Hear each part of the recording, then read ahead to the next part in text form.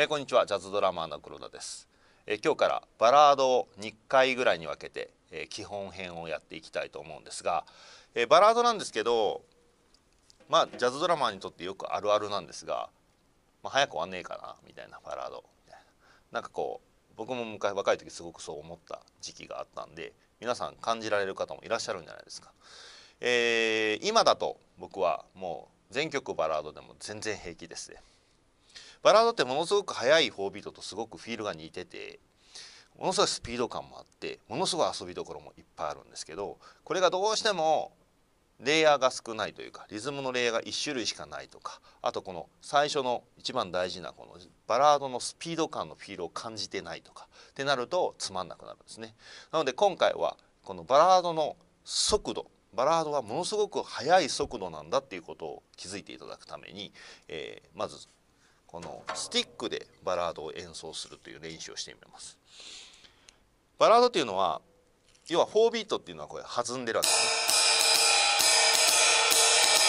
これに対してバラードっていうのはこの距離が長いわけですよ。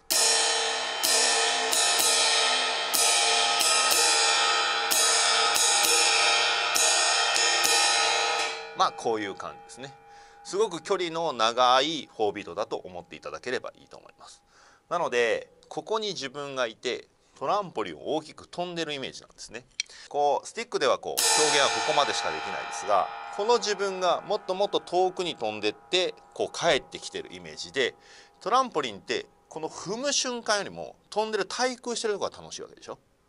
まあ何百人に1人ぐらいはこう踏むのが気持ちいいっていう人いるかもしれないですが何のために飛んでるかって言ったら飛ぶためにこうここを気持ちいいのを感じるために飛ぶわけじゃないですか。バラードもそうで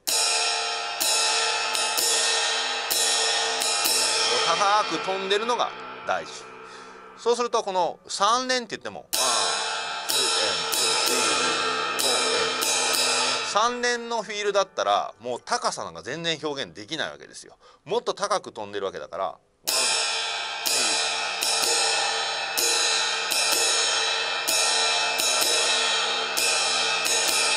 っていう表現方法になるわけです。こう高い。ね。このフィールが分かってないとあんまりバラードって面白くない。スピード感を感じないんでね。でイメージ的にはこの大きな振り子とかよく言われますがあのディズニーシー好きな人はあのガリレオの入り口入ってこうあの山のある手前にこうガリレオの部屋があそこに大きな振り子のある部屋がある。探してみてください。あれを見た時に僕はあのジャズバラードだなと思いました。こうゆっくり時間が流れてて。でこうこんな鉄球が飛んでるんですかこ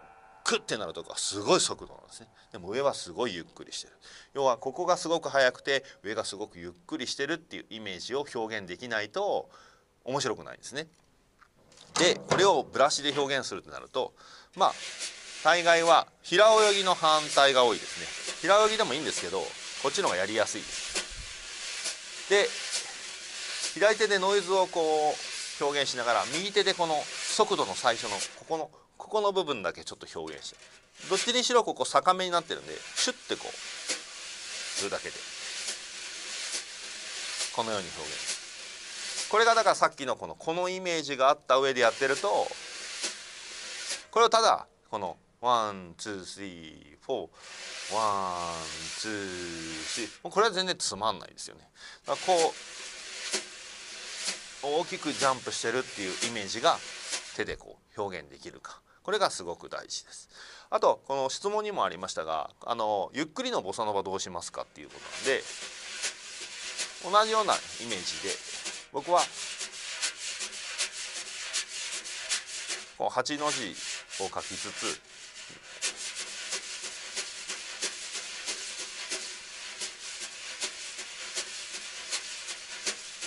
っていうボサノバの手の叩き方をしますね。えっと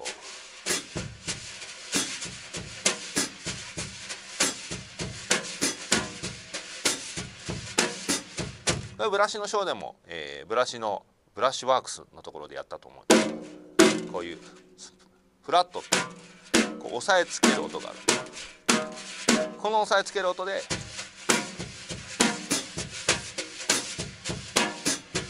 なんかでやってもらったらいいかなと。まあバラードとすごく似てますね。という具合にブラシは手のただ手だけで書くこれは前のバラードの質問の時にお答えしたんですけどバラードって基本的には2ビートなんですよ。なのでちょっと曲でやってみますね。これ最初は全音符なんですが。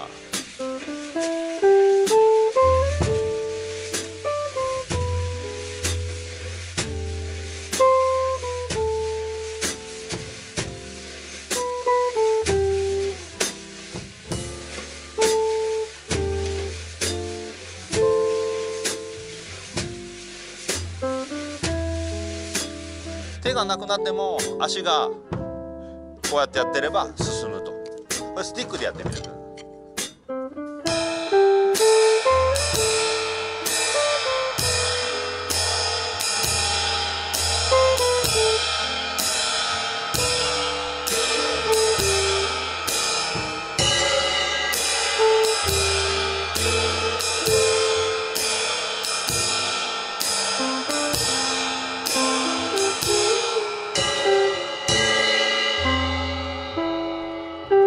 まあこんな具合ですね。このフィールが分かっているとそんなに、えー、なんかこう遅くてしんどいなってことはないし実際にこの枠組みのこの速度があるとサックスとかもフレーズがどんどんどんどんスピードをつけられていくんで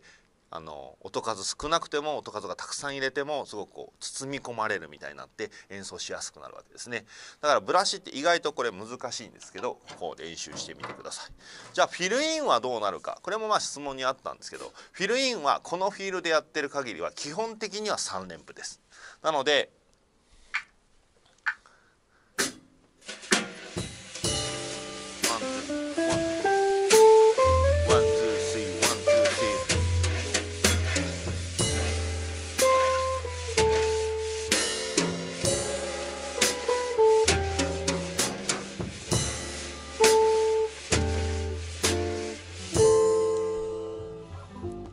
こうなると結構バリエーションがあんまりないですねしかもっていうのっていう感じのフィールでもないので3連符しか縛りが縛り3連符に縛られてしまうわけですよ。ここをどうするかっていうのはこうリズムを倍のフィールで感じるっていうところで、えー、まあ、解消されていくんですがそれは次回に回したいかなと思います。なので、えー、次回は売店のフィールについて、えー、お話ししますので、えー、バラードの練習用に今回はこの、えー、バラード1コーラス分ですねこれあのちょうど著作権が切れてるので、えーと、演奏者にも、え、著作権買い取りで演奏の量を渡したのでこれどこで使ってもらっても大丈夫です。えー、サマントゥワチョーバミ、えーこれあの黒本にも載ってますからね、えー、練習用に、まあ、ものすごくセッションでやる方はそうでもない曲ではあるんですがあの著作権を切れてるというところがチョイスの基本になってますので、まあ、サマント・ウォッチこれのワンコーラスやりきりの演奏でこれをこの今のフィールで練習したスティックで練習してもらったりバラードで3っていうの練習しておいていただければいいかなと思います。では以上です。ありがとうございました。